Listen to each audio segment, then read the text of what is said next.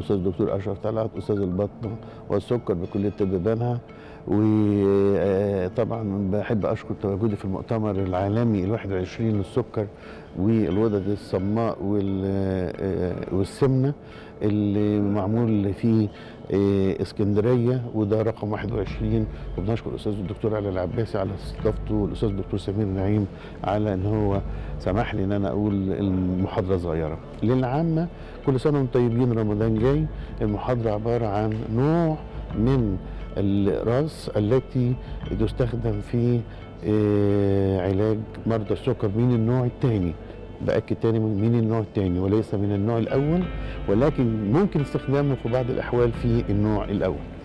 لكن هو مخصص للنوع الثاني على أساس إن هو بيشتغل بعد الأكل وبيشتغل على الجلوكوز إن هو لو جلوكوز عالي يبدأ هو يشتغل وينزله للمستوى الطبيعي.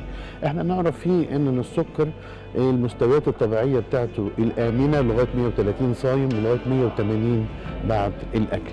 أو إن هو يبقى 200 مللي جرام في اي وقت من اليوم تحت رقم 200 الدواء اللي هو بنستخدمه اللي هو اسمه الجليبتنز ولكن بيفضل إن هي تستخدم باشراف طبيب علشان يدي الجرعات المناسبة. الجليبتنز بتشتغل على عبارة عن مش هقدر أقول إن هي هرمونات صغيرة بس أنا أقدر أقول إن هي بتشتغل على مركبات معينة بتظهر في البطن بعد الأكل ليها شغل معين على الخلايا ألفا وخلايا بيتا إن هي بتحسن الجلوكاجون وبتحسن الإنسولين. الإنسولين من الخلايا اللي هي الخلايا بيتا وليها فعل على أثر الشبع في المخ.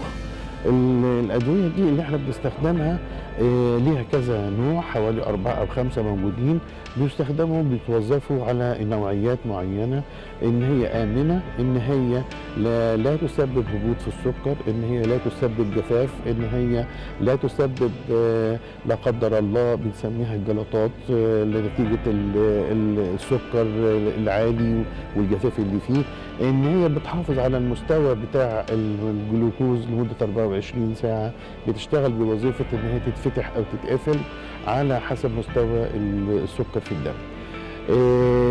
اولا دي أضافت كتير عندنا في الميديسن أو في العلم في الطب طبعا إن هي بدأ الناس إن هم الدرجات معدل التحكم في السكر بقت أحسن بيستخدم عن طريق الفم مفيش منه أي مشكلة آمن بالنسبة للكبد آمن بالنسبة للكلى.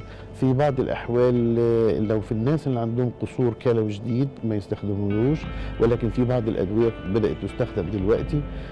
برضو بنلح على السادة اللي هم هيصوموا زيارة الطبيب والمعاودة عليهم وتحليل مستوى السكر دائما قبل الفطار بعد الفطار قبل السحور بعد السحور قبل الظهر قبل العصر قبل المغرب علشان مستوى السكر يبقى في المستوى الآمن حتى لا يحدث أي ضرر بالنسبة لمريض السكر.